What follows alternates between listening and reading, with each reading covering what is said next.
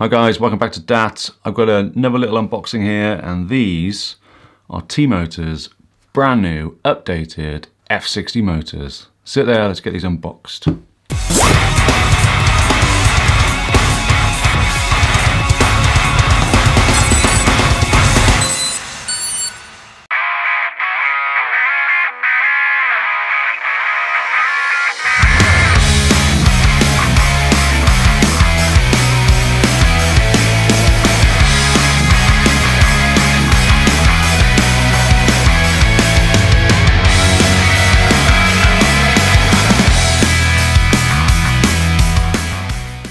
So these are the second versions of the F60s. These are brand new.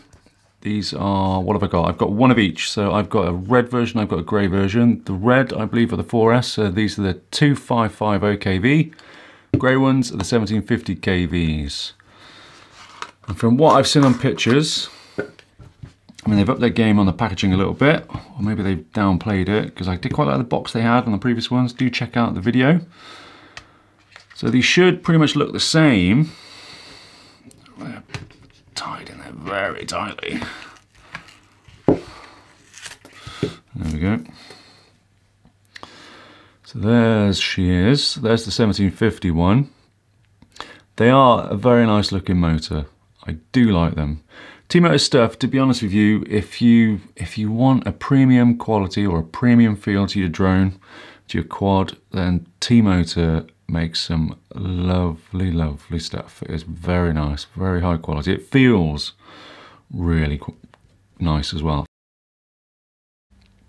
So yeah, they're, they're very nice build. So these new F60s, they're supposed to be they're supposed to be lighter, they're supposed to be more durable, they're supposed to be a better power give, better power range, all round better than the actual original F60s till you fly them, you will never know, I guess. So I have four of these. I have four of the other ones as well, and I will be doing a build with all of them at some point. So I just wanted to show you those. They look absolutely great.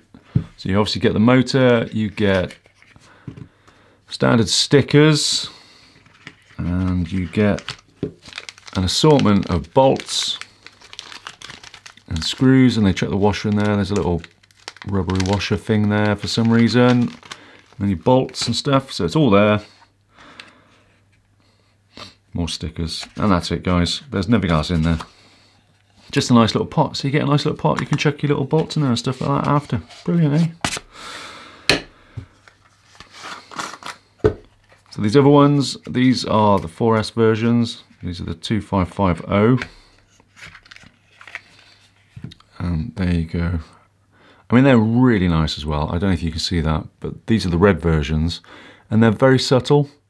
I believe the previous versions had the red all over the top, but these ones just got the red on the sides, and it's just a bit more subtle. It looks really nice, yeah. It looks really nice. They look very classy. They've even got a bit of red on the bottom. I don't know what else I can say about those guys. They look brilliant.